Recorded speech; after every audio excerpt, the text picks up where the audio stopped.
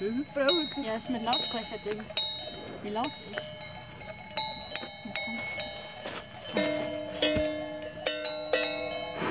Er ist entweder bloß im Festen laut ist oder weil jemand schon sechs Lärmbelästigung, ob man schaut, wie wirklich wie laut ist. Ach, Ja, wenn man die hier geht, dann nimmt das ja auch, oder?